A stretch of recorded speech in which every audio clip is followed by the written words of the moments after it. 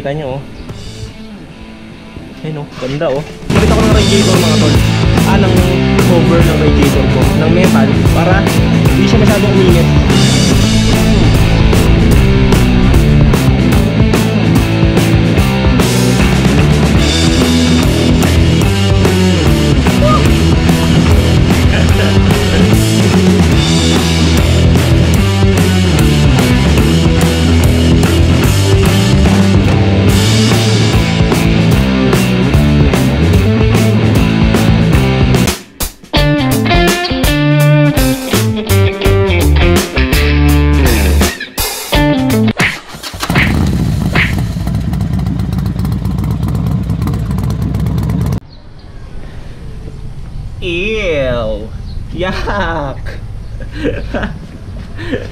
Gano'ng kadumi si Maxine mga tol. Ayan, no? Kala nyo, lagi siya maganda. Okay? so, what's up mga katagumpay? Anong balita sa inyo? At sa atin, anong balita? Nakapansin nyo, nandito ako ngayon sa linisan ng motor, yung DIY na linisan ng motor sa amin, yung most affordable. At ngayong araw, ituturo ko sa inyo mga tagumpay kung paano ko na-maintain yung ganda ni Maxine. Okay? Yung NMAX na gamit natin na matte black, non-ABS. Actually, may, mga tol, ang motor naman kasi, nadudumahan naman talaga. Kaya lang akala nyo napakalinis ni Maxine palagi. Tama lang yung ginagawa ko sa kanya. Okay? So, ngayon ituturo ko sa inyo yung mga ginagawa ko. Pakita ko sa inyo yung mga kailangan lang natin na at kung bakit yun ang mga gamit ko sa paglilinis ng motor. Okay? So, tara tara!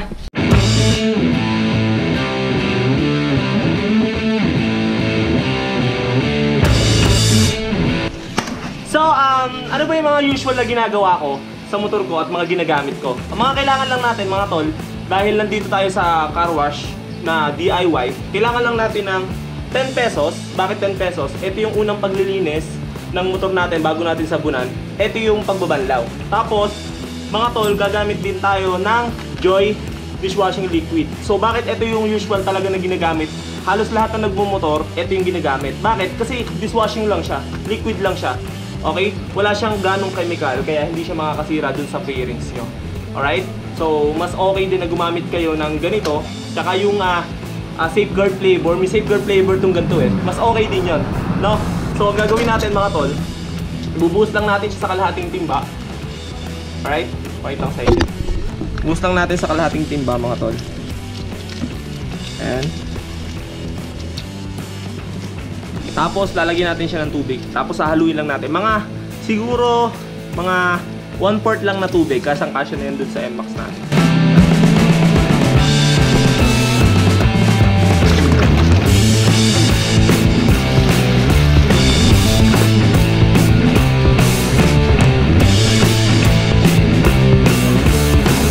So, first step natin mga tol, kailangan linisin muna natin yung mga dumi dahil ah, explanation dito mga tol. Ah, ito kung makikita niyo itong mga duming to mga tol. Ayan. Na-explain ko na to sa motor ko dati pero kailangan niyo ring malaman. Hindi niyo siya basta-basta pwedeng ah, sabunan agad kasi yung mga dumi na yan, eto, ayan, gagasgas yan dito sa fairings nyo.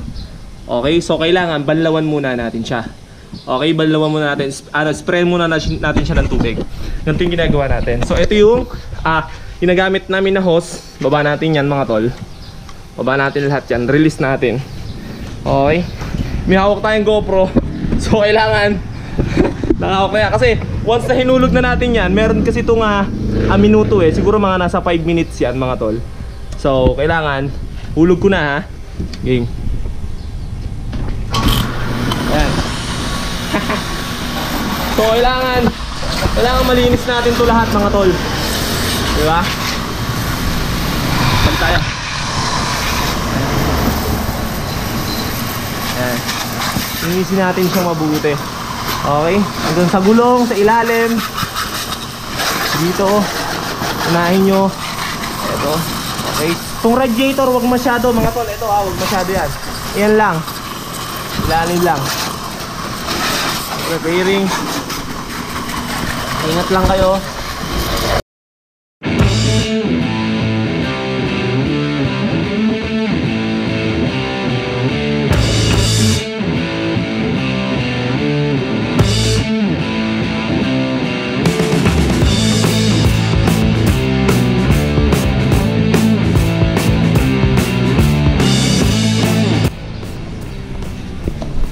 Okay, natapos na natin siyang banlawan mga tol. So, syempre, dito muna siya.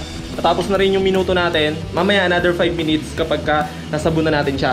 Okay? So, ah, make sure lang din mga tol na wala kayong mababasa na na nakalagay na sa mga compartments nyo dito, sa mga pocket nyo. Wala na kayong mababasa. So, overall, lahat okay na siya. Pakita ko sa inyo mga tol. Wala na siyang ah, mga lupa-lupa na pwedeng gumasgas sa inyong motor. Okay? So, ibig sabihin, lahat cleared out na siya. Ayan, kung makikita nyo, okay na rin siya. So, this time mga tol, sasabunin na natin siya. Dito na natin nilagay. Ito na yung uh, pinrepare, prepare, prepare, prepare natin na ah, joy. Tapos, gumamit lang ako ng isang ah, malambot na foam, ah, na nabasahan mga tol. Okay? May tawag dito sa basahan na to eh. Nakalimutan ko lang ang tawag eh. Comment nyo nga sa baba. okay? So, syempre, ang uunahin natin ay ang mga Ah, unahin natin mga tol, syempre yung fairings muna sa katawan. Mamaya na yung mga ah, yung mga gulong niya tsaka yung mga nandun sa mga shocks. Bakit? Kasi may mga mga mga dumi yun na pwede yung may may apply dun sa body niya. So body muna, yung fairings yung muna sa body bago yung ilalim. Okay? So unahin muna natin itong mukha mga tol.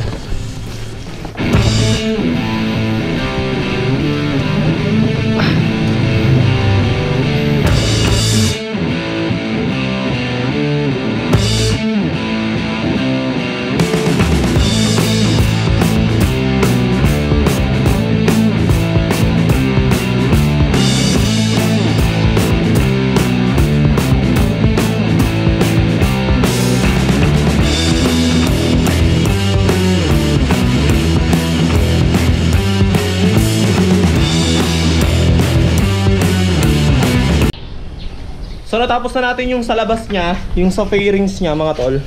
Yan kung makikita nyo, puno na siya ng sabon.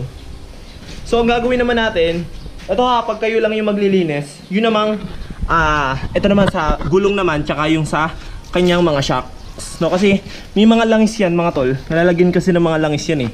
Okay? Kaya, ito yung panghuhuli nyo para hindi nyo mai, maipunas yung pinunas nyo dito, maipupunas nyo rin dito. So, dapat huli to. Ano? Okay. Ito lang mahirap dyan eh. Yung shock niya. Mahirap linisin yan mga tol eh.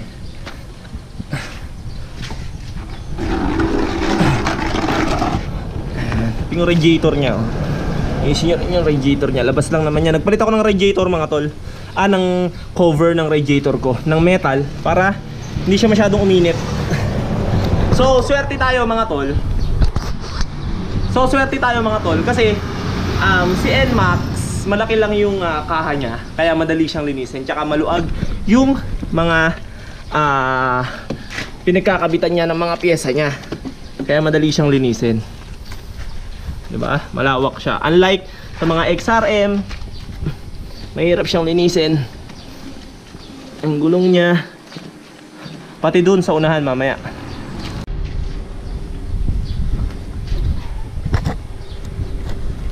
So after natin siyang sabunan mga tol, makikita nyo, ayan, okay na siya. So ibig sabihin natanggalan natin lahat nung ah, kanyang dumi. Hindi pa siya 100% malinis mga tol. Kailangan pa natin ulit siyang ah, pasiritan ulit. Another 5 pesos, kaya 10 pesos yung ah, pinadala ko sa inyo. Okay? Another 5 pesos para siritan natin siya. Okay? Tapos mamaya mga tol, papakita ko sa inyo yung, ah, di ba na-review ko na, papakita ko yung pinapahid natin sa kanya para ma-maintain niya yung pagiging mat niya. Okay? Papakita ko sa inyo mamaya. For this time, siritan na lang muna ulit natin. Same process lang yung ginawa natin kanina. Okay?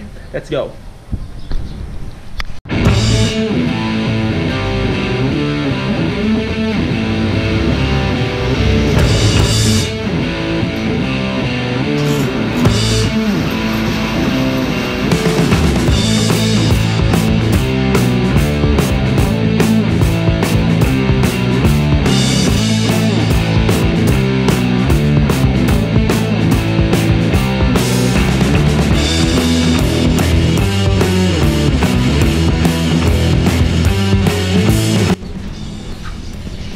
Alright. So, okay na siya mga tol. Overall, sobrang linis na niya. And kung makikita nyo, ba? Pupunasan na lang natin siya ng basahang tuyo, mga tol. Ayan, pakita ko muna sa inyo yung resulta ng ginawa natin.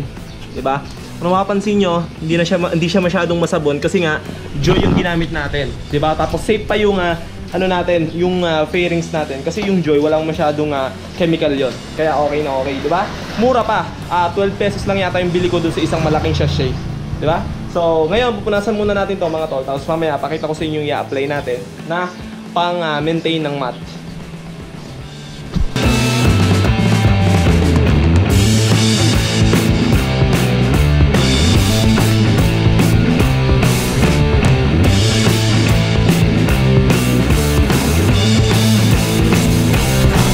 Make sure mga tol na naka-center stand kayo ah. Kasi kung hindi kayo naka-center stand, pwedeng dumaksak at bumaksak yung motor nyo. Okay? Make sure na center stand mga tol. Safe, safety first tayo palagi.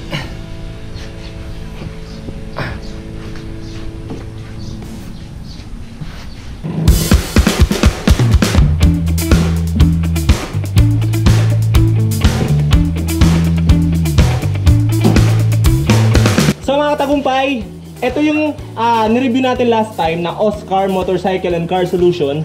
Ito yung pang-mat na ginagamit ko dito kay NMAX natin para ma-maintain natin mga tol yung ah, kanyang ganda at yung pagkamat niya. Okay, huwag kayong masyado nga gagamit ng mga BS1 sa mat kasi nga nakaka, nakaka ah, fade siya ng ah, matte black. Tapos mga tol, bago natin siya i-apply, pakita ko muna sa inyo mga tol kung ano yung ayaw ko sa mat Ah, ngayon lang kasi ako nagkamot ng motor eh. Ganito yung nangyayari sa kanya pagkatapos yung linisin. May mga ilan-ilan talaga mga tol. Ayan, kita ba? Na namumuti-muti talaga sa kanya. Hindi nyo kaya, kayang tanggalin yan kahit anong linis nyo mga tol. Ayan makikita nyo. Ayan yung mga puti-puti niyan. Hindi nyo kayang linisin yan. Pero, pag nilagyan na natin yan ito mga tol. Okay, balik natin yung camera natin. ah. Pag nalagyan na natin yan ito mga tol. Nitong Oscar, tanggal yan. Alright? You know? Diba? Gamit pala kayo ng foam mga tol ha. Huwag nyo i-direkta sa sa basahan kasi ah, kailangan na ma- ma-absorb nung ah, fairings nyo muna. Itong ah, liquid na ilalagay natin. Parang liquid base ilalagay natin. Dito. Ayan makikita nyo. Ano kung makikita nyo oh, tanggal siya oh. Diba? Ayan oh. Inuna ko lang lagyan muna dito mga tol ha? Kasi nga para makita nyo yung difference dun sa puti-puti na nilalagay na ayaw ko sa matte black. Ah, tapos lagyan din natin dito mga tol. Isa pa. Okay? Para makita nyo.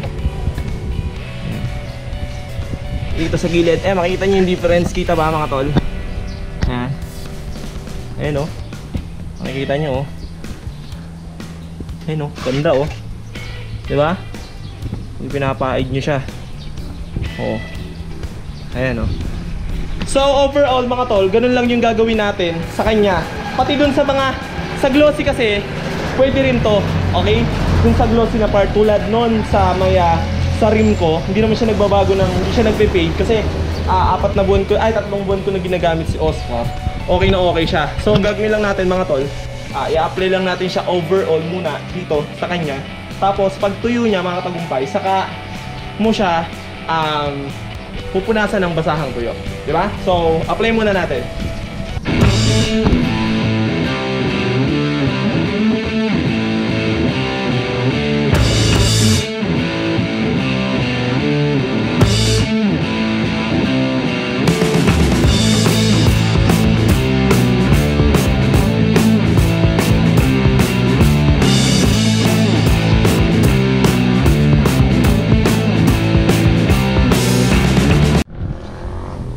Kung mapapansin nyo mga tol, ayan, medyo parang di ba nagtutubig-tubig siya?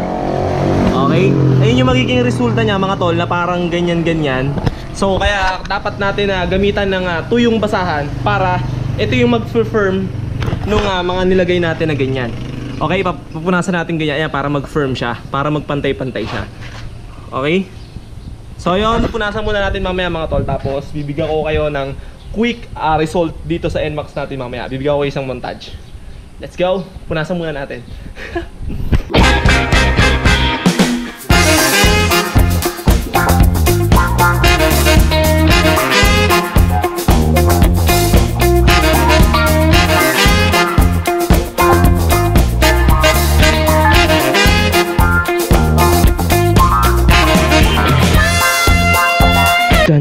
Jant, jant, jant, jarant, dant, dant, dant, darat, dat, dat, dat, darat, dat.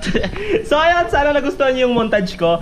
At maraming maraming salamat. At ayun yung ah, sinasabi ko sa inyo na paano ko na-maintain itong ah, motor natin na si Maxine. Okay, sana may natutunan kayo at lagi nyo isipin na Joy na lang yung gamitin nyo kahit ah, ano yung i-offer sa inyo. Kasi si Joy, subok na natin si Joy. Okay? So, um, shoutout nga pala dun sa dalawang driver kanina ng BN Trading na nakita ko kanina. Binigyan ko sila ng dalawang sticker.